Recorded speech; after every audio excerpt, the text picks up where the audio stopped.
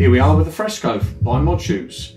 Now the Fresco by Mod Shoes is an old school trainer and we very, deliberately made it as simple as possible so it's got very few adornments like a modern trainer would have.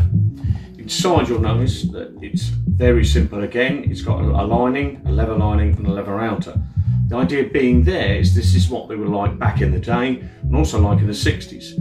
But more importantly, one of the reasons you do that, unlike a modern trainer, is this is made as leather so you can breathe.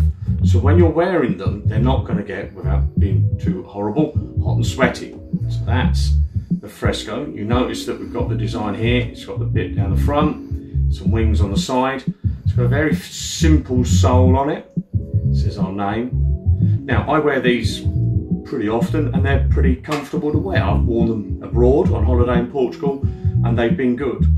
Now one of the things that people keep saying about them is they look a bit like a bowling shoe. Now I don't know if, let me just quickly show you a bowling shoe. A bowling shoe has a stitch down. So the difference between what I believe is the Fresco, which is a trainer, and a bowling shoe is that they're not a stitch down. Can you see that? It has stitch down there. Of course, it has a sole. Everything about it is a bit different.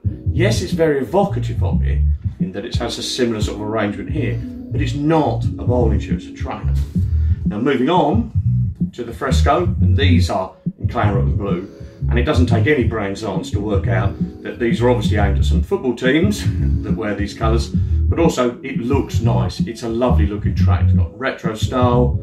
On this one, somebody did ask why didn't we do it with the white sole like there? Well, I think the white on this would look too harsh. If it was black, it would look harsh again. So this is why we did the more natural colour. So anyway, they're beautiful to wear. They're dead comfy. You put them on, they take literally no wearing in. You're to look dead good in jeans, dead good in shorts. So that's the Fresco by Mod Shoes.